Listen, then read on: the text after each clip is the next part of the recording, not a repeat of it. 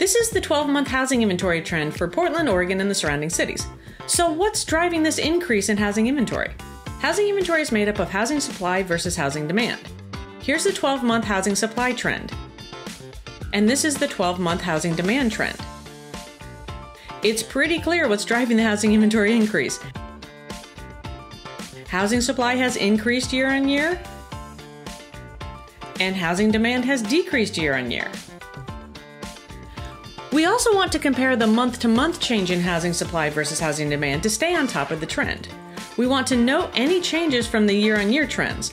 For housing supply, it would be these decreases, and for housing demand, it would be these increases. For additional housing market trends, the hottest listings by location and price, open houses, personalized monthly market reports, and more, visit homemadeportland.com.